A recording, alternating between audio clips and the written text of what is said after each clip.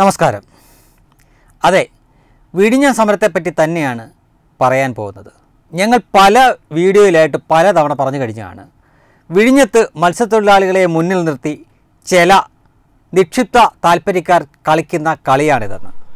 മത്സ്യത്തൊഴിലാളികളിൽ ബഹുഭൂരിപക്ഷം ആളുകളും നിഷ്കളങ്കരാണ്. അവരുടെ ഒരു പ്രത്യേകത പള്ളി എന്തു പറയുന്നോ അത് കേൾക്കുമെന്നതാണ്. അതിലെ ശരിയും തെറ്റുമെന്നും അവർ നോക്കില്ല. ഈ ഇടയലേഖനങ്ങളൊക്കെ ഏറ്റവും കൂടുതൽ ചിലവാകുന്ന ഒരു സഭയും അവരുടെയാണ് ലത്തീൻ കത്തലിക് സഭ.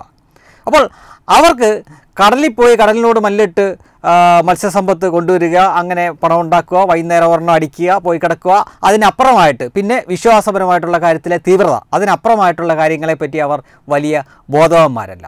ഇത്തരം ആളുകളെ എന്ത് കാര്യത്തിനും വഴിതിരിച്ച് വിടാൻ ഈ മത മേലധ്യക്ഷന്മാർക്ക് പറ്റും. അതുകൊണ്ട് തന്നെ ഞങ്ങൾ പല തവണ പറഞ്ഞു കഴിഞ്ഞതാണ് തീ കൊണ്ടാണ് ഇവർ ഈ കളിക്കുന്നത്. പക്ഷേ അപ്പോഴും ഈ നിഷ്കളങ്കരായിട്ടുള്ള മത്സ്യത്തൊഴിലാളികൾ അതൊന്നും വകവെക്കാതെ ഈ സമരം സമരം എന്ന് പറഞ്ഞ് ഇതിനെതിരെ നടന്നുകൊണ്ട് കേരളത്തിലെ പോലീസാണെങ്കിൽ അങ്ങേയറ്റം നിസ്സംഗരായി ഇതെല്ലാം നോക്കി നിൽക്കുകയാണ്. ഒരുപക്ഷേ വോട്ട് ബാങ്ക് കാരണം ഈ വോട്ട് ബാങ്ക് നഷ്ടപ്പെടുമോ എന്നുള്ള ഭയം കാരണം പിണറായി പിണറായി ആണല്ലോ ആഭ്യന്തരമന്ത്രി. അദ്ദേഹം തന്നെ ഒരുപക്ഷെ അവരോട് പറഞ്ഞിരിക്കാം നിങ്ങൾ കണ്ടു നിന്നാൽ മതി ഒന്നിലും കയറി ഇടപെടേണ്ടതാണ് കഴിഞ്ഞ ദിവസം പോലും നമ്മൾ കണ്ട്. പോലീസിന്റെ ബാരിക്കേഡുകളും വള്ളവുമൊക്കെ എടുത്ത് കടലിലെറിയുകയും കത്തിക്കുകയും ചെയ്യുന്ന കാഴ്ചകൾ നമ്മൾ കണ്ട്. ഇതേ പോലീസ് തന്നെയായിരുന്നു ശബരിമലയിൽ ഏത് രീതിയിലാണ് ജനങ്ങളോട് അല്ലെങ്കിൽ അന്ന് നാമ നാമജപം നാപജപവുമായിട്ട് മുന്നോട്ട് പോയ ജനങ്ങളോട് എങ്ങനെ ഇടപെട്ടത് എന്നും കേരളം കണ്ടതാണ്. ഇനി ഇത്രയും പറയാനുള്ള കാരണം ദാ ഇപ്പോൾ വന്ന ചില വാർത്തകളാണ്. മുഖ്യധാരാ മാധ്യമങ്ങളൊക്കെ കൊടുത്തിട്ടുണ്ട്. അതിൽ ഒരു മാധ്യമത്തിൽ വന്ന വാർത്ത ഇങ്ങനെയാണ്. സമരസമിതി നേതാവ് എ ജെ വിജയന്റെയും ഭാര്യ ഏലിയാമ്മ വിജയന്റെയും അഞ്ച് വർഷത്തെ ബാങ്ക് ഇടപാടുകൾ കേന്ദ്ര ഏജൻസികൾ കർശനമായി നിരീക്ഷിച്ചു നിരീക്ഷിച്ചു വരികയാണ്. ഗതാഗത മന്ത്രി ആന്റണി രാജുവിന്റെ മൂത്ത സഹോദരനാണ് ജോസഫ് വിജയൻ എന്ന എ ജെ വിജയൻ. ആ അവസാന വാചകമാണ് ശ്രദ്ധിക്കേണ്ടത്. ഇവിടെ ഗതാഗത മന്ത്രിയായിരിക്കുന്ന ആന്റണി രാജുവിന്റെ മൂത്ത സഹോദരനാണ് ഈ ജോസഫ് വിജയൻ എന്ന വ്യക്തി. ആ വ്യക്തിയുടെ ഭാര്യയുടെ അക്കൗണ്ടിലേക്കാണ് ഏകദേശം പതിനൊന്ന് കോടിയോളം രൂപ രണ്ട് മൂന്ന് വർഷങ്ങളായിട്ട് വന്നുകൊണ്ടിരുന്ന എന്ന വാർത്ത. ഇത് കേന്ദ്രത്തിലെ ആ രഹസ്യാന്വേഷണ ഉദ്യോഗസ്ഥരും മറ്റുമൊക്കെ കാലങ്ങളായിട്ട് നിരീക്ഷിച്ചു കൊണ്ടിരിക്കുകയാണ് കുറേ കാലമായിട്ട് അവരുടെ റഡാർ തന്നെയുണ്ട് ഈ സമരം. ഇതൊക്കെ ഞങ്ങൾ പല തവണയായിട്ട് പറഞ്ഞതാണ്.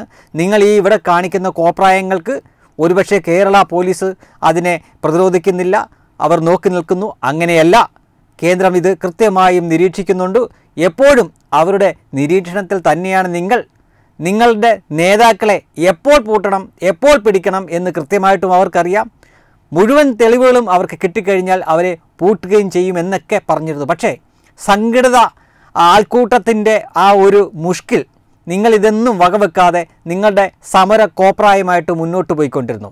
ഇതാ ഇപ്പോൾ പല മാധ്യമങ്ങൾ വഴിയും ഈ വാർത്തകളൊക്കെ പുറത്തേക്ക് വരുമ്പോൾ നിങ്ങൾക്ക് ഇനിയെങ്കിലും ഒന്ന് സ്വയം ചിന്തിക്കാനുള്ള ഒരു അവസരമാണ് ഈ വാർത്തകൾ നിങ്ങളുടെ മുന്നിലേക്ക് തന്നിരിക്കുന്നത്.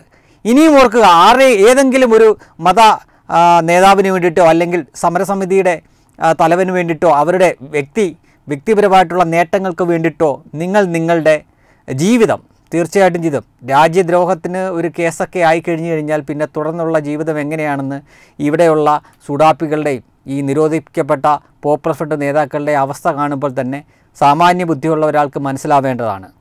കാരണം ഇവിടെ നമ്മുടെ ഒരു തുറമുഖം എന്നത് ഈ രാജ്യത്തിന്റെ താല്പര്യത്തിന് വേണ്ടി തന്നെ ഉള്ളതാണ്. അതിന് വിഘാതമായിട്ട് അല്ലെങ്കിൽ ആ തുറമുഖം പൂർത്തീകരിക്കരുത് എന്ന താല്പര്യം തീർച്ചയായിട്ടും രാജ്യത്തിനകത്തുള്ള അല്ലെങ്കിൽ രാജ്യത്തിന് നല്ലത് നല്ലത് വരണം എന്ന് വിചാരിക്കുന്നവരുടെ ആയിരിക്കില്ല. രാജ്യദ്രോഹികൾ അല്ലെങ്കിൽ രാജ്യത്തിന്റെ ശത്രുക്കളുടെ താല്പര്യമായിരിക്കും. അവരുടെ തല താല്പര്യത്തിന് വേണ്ടി നിന്നു കൊടുക്കുക എന്നതിനർത്ഥം രാജ്യദ്രോഹത്തിന് കൂട്ടു നിൽക്കുക എന്ന് തന്നെയാണ്. ഞാൻ ആദ്യം വായിച്ചത് മലയാളത്തിലെ ഒരു മുഖ്യധാര മാധ്യമത്തിലെ ആയിരുന്നുവെങ്കിൽ ഇതാ അടുത്ത നിങ്ങൾ കാണുന്നത് അതേപോലെ തന്നെ മറ്റൊരു മാധ്യമത്തിൽ വന്നതാണ്. വിഴിഞ്ഞം സമരത്തിന് മുന്നിൽ വിദേശ ശക്തികൾ. സമരത്തിൽ മുന്നിലുള്ള നേതാവിന്റെ ഭാര്യയ്ക്ക് പതിനൊന്ന് കോടി വിദേശ ഫണ്ട് പതിനൊന്ന് സംഘടനകൾ ഐ ബിയുടെ റഡാറിൽ. ഈ വാർത്തയൊക്കെ ഇപ്പോൾ കേരളത്തിലെ ജനങ്ങൾ കണ്ടു കഴിഞ്ഞിരിക്കുന്നു എന്ന ഓർമ്മ വേണം. മുൻപ് നിങ്ങളോട് കുറച്ചെങ്കിലും അനുഭാവം കാണിച്ച് നിങ്ങളുടെ സമരത്തിന് മനസ്സുകൊണ്ടെങ്കിലും പിന്തുണ നൽകിക്കൊണ്ടിരുന്നവർ ഇനി മറച്ച് ചിന്തിക്കും എന്ന ഓർമ്മ നിങ്ങൾക്ക് വേണം. ഇനിയും ജനങ്ങൾക്ക് ബുദ്ധിമുട്ടുണ്ടാക്കിക്കൊണ്ട് റോഡ് തടയാനും മറ്റുമാണ് നിങ്ങളുടെ മുന്നോട്ടുള്ള പോക്കെങ്കിൽ അവശേഷിക്കുന്ന ആ പിന്തുണ പോലും നിങ്ങൾക്കില്ലാതാവും എന്ന യാഥാർത്ഥ്യം സത്യം നിങ്ങൾ മനസ്സിലാക്കിയാൽ നന്ന്. Web desk Tatwamayi news. Powered by Demos furniture ലോകോത്തര ഫർണിച്ചറുകളുടെ വമ്പൻ അൺലോക്ക്